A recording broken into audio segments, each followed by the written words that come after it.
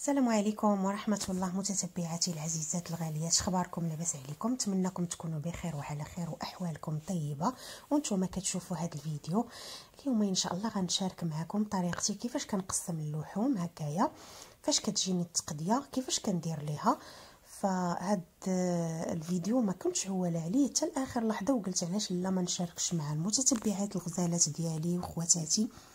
فكيف ما كتشوفوا بالنسبة للحم فاش كن فاش كنجيبوه فانايا كنقيه كنحيد منه هكايا إلا كان شي طريف فيه الدم وكنحيد منه هذوك الجليدات كنقي منه الشحمة كنقادو هكا مزيان وكنشوف الكمية اللي عندي ديال اللحم فكنقسمها على ميكات. بما أن عندي الميزان في الدار فهو كيسهل عليا المأمورية. أنا كندير كل ميكا كندير فيها نص كيلو ديال اللحم هكايا هاد الكمية كتكفاني مثلا في الغداء أو العشاء أنا ووليداتي والزوج ديالي. كافيانا الله يجعل البركة. فكيف ما كتعرفوا حنا راه كنزيدوا الخضرة كنزيدوا هكايا شي حاجة. أما إلا كنا غنديروا شي مثلا شي مريقة هكا غير بالبرقوق ولا هكا فكنضاعفوا الميكات. يعني ما كديرش غير وحدة لأنها ما غتكفاش. وكنستعمل ال marqueur أي ميكا عمرتها كنكتب فيها واش بقري ولا غنمي. وأهم حاجة هي أنكم كيف ما كتعرفوا آه اللحم إلا ما إلا جبتيه وما صايبتيهش ديك الساعة فكيتبدل ليه اللون ديالو وكيصبح ماشي هو هذاك. فمن الأحسن خواتاتي الوقيتة اللي جبتوا الحيمات هكايا أو الدجاج ولا اللي كان اللي قسم الله فقادوه ديك الساعات نقيوه وقادوه وقسموه على حساب الكمية اللي بغيتو هكايا ودخلوه للثلاجه عاد باش تهنوا منه. آه، فانايا هذه هي الطريقة ديالي كنتمنى أنها تعجبكم وهكايا كنستافدوا من بعضياتنا. الطريقة اللي بسيطة وكنظن أن كلشي كيديرها. فهاد القضية ديال أنني كنكتب هكايا فوق البلاستيكات. فنفعتني بزاف لأن ملي كندخلوا اللحم في المجمد فما كنبقاوش نعرف واش هو غنمي ولا بقري ولا وكنكتب بعض المرات حتى إلا كان عندي côtelette أو لا شي حاجة كنكتب عليه فاش لقيت اللي كنبغيه كنجبدو كنعرف الميكا أشنو فيه عموم خواتاتي هانتوما كيف ما شفتوا أنا الساشيات كلهم تندير فيهم نص كيلو صافي كافياني كافيني. نديرو هكايا مع خضيره ولا فاش ما كنا غنديرو ولا حتى في الكسكسو كندير غير أنا والوليدات يعني وليداتي صغار. فأنا هاد الميكا هي اللي كندير في الكسكسو. الله يجعل البركة اللهم أديمها نعمة واحفظها من الزوال. كنتمنى تعجبكم هذه الفكرة. وبالنسبة لهاد les sachets فأنا كنت كناخذهم من بيم كان الثمن ديالهم 15 درهم دابا ولاو ب 18 درهم ونص فأنا وليت كنشري هادو غير ب 5 دراهم عند الناس اللي تيبيعوا المواد ديال 5 دراهم حتى هما زوينين وعمليين وكيتسدوا هكا من الفوق. وهذا هو ال marqueur اللي كنكتب بها هو marqueur permanent يعني ما تيتمسحش. فراه كيدوم مدة طويلة حتى هو الا خديتوه وبديتو كتستعملوه هكا. كيسهل عليكم. وهانتوما شوفوا الميكا اللي درت فيها الشحمة ديال الكلوة. لقيت واحد الطرف ديال الشحمة فدرتو حتى هو بوحدو. نتمنى تعجبكم الفكرة. وهنا خواتاتي من بعد ما كملت الحيمات حطيتهم في في المجمد. ففكرت غدا إن شاء الله بإذن الله الوليدات غادي يكونوا ما قاريينش تشعينا شوية ديال الرفيسة. فغادي نصايب واحد شوية ديال المسمن. وغادي نخليه هكايا حتى يطلق راسو الصباح نلقاه آه نلقاه هكا يعني نلقاه مزيان. هاد هاد القضية هادي ديما تنديرها إلا كنت بغيت نصايب نسمن هكا الفطور كنعجنو في الليل وكنخليه. هنايا خواتاتي أنا راه درت جوج زلايف ديال الدقيق أبيض وزلافة ديال الفينو وغادي نعجن هاد الكمية هادي بالعجانه فهانتوما خواتاتي شي حاجة اللي آه هكا كتنقص علينا الخدمة. نحاولوا أننا نديروها بكري باش آه نقصوا علينا الوقوف في الكوزينة ونقصوا علينا تمارة. بالنسبة هنايا المسمن أنا ضفت غير الماء والملحة فقط. ما درت لا خميرة لا حتى شي حاجة لأن غنصايب به التريد إن شاء الله في الصباح. درتو هكايا غادي يتدلك غير واحد شوية ومن بعد غنحطو آه، في ميكا وغادي نخليه حتى الصباح إن شاء الله وغادي نلقاه هكايا طرخاف وغادي يساعدني أنني نطلقو بكل سهولة. صافي خواتاتي هانتوما صافي راه دلك مزيان. فغادي ندهنوه بواحد شوية ديال الزيت. غير زيت نباتيه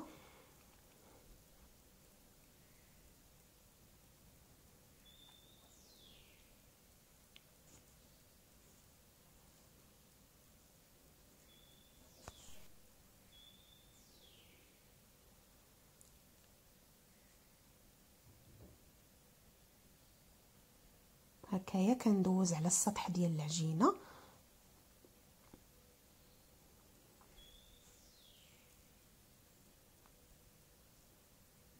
كنصور معكم هذا الفيديو. دابا راه العشرة أونس ديال الليل.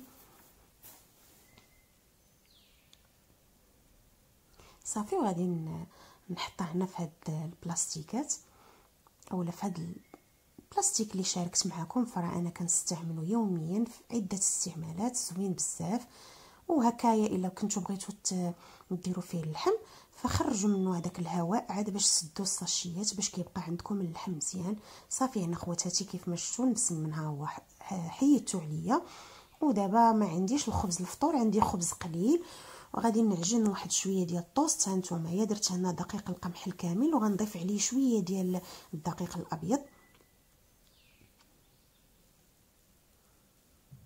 وهذه النخالة اللي حيت من آه، دقيق القمح ما غاديش نرميها غادي نخليها حتى نقرص بها آه، الخبز إن شاء الله. ضفت هنايا شوية ديال الملحة وشوية ديال الخميرة فورية وشوية ديال السكر سنيدة.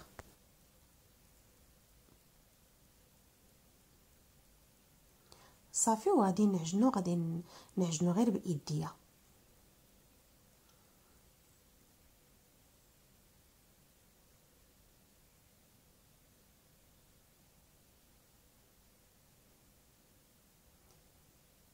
راه بنتي هبه هي اللي كتصورني وكتساعدني هكايا. صافي غادي نستمر هكايا حتى نخلط هاد الدقيق اللي عندي. كيف ما كتعرفوا الدقيق القمح الكامل راه ساهل في, في العجينة ديالو. دغيا تيتعجن دغيا كيتدلك.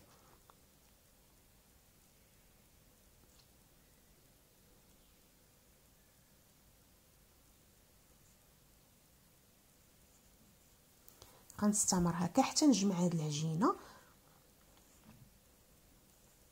وصافي خواتاتي هنايا غادي ندلكها.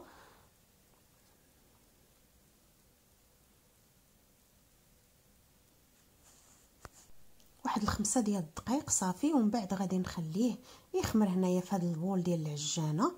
وكيف ما شفتوا المسيمنات ها ما خليتهم هنا يرتاحوا. وهاد النخالة غنجمعها في واحد البواطة باش ما تضيعش باش نقرص بها إن شاء الله. ملي غادي نعجن الخبز غدا. صافي هنايا من بعد ما خمر ليا الخمرة الأولى كن نروليه بحال كنسرحو اولا وكنبدا نرولي أنا راه خدامة بإيد وتنصور لكم بإيد. غادي نبقى نلوي هكايا وتنضغط على العجين باش كيلصق. كيف ما كتشوفوا. طريقه ساهله ديال الطوست وكيجي زوين. هكا ينفعنا للفطور وينفعنا حتى للكوتي وهكا نوظفوه في عدة وصفات وينفعكم لوليداتكم هكايا للمدرسه وراه كيصبر مدة طويلة في الثلاجة يعني. وما فيش لا مواد حافظة لا والو. شي حاجة اللي كتصايبوها هكايا.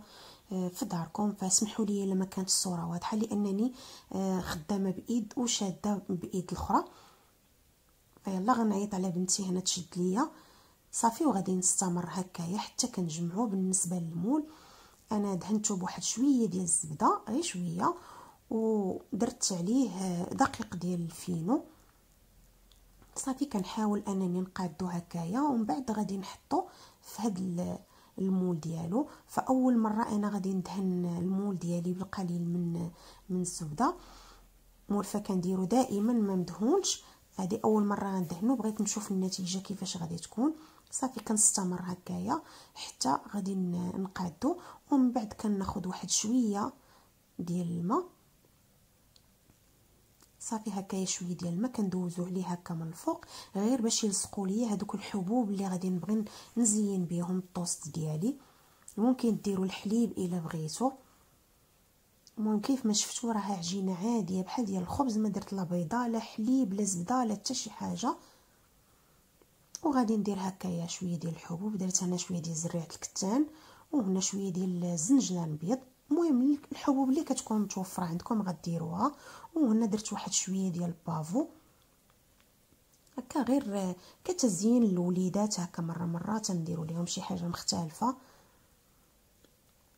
صافي وغادي نخليه دابا. يخمر المدة الثانية فأنا ما تنبغيهش طالع بزاف ما تنخليهش يخمر بزاف.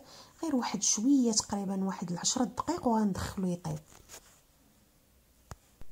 وانتوما إلا كان كيعجبكم الطوست يجيكم عالي بزاف فخليوه حتى يضاعف الحجم ديالو بزاف عاد باش دخلوه يطيب.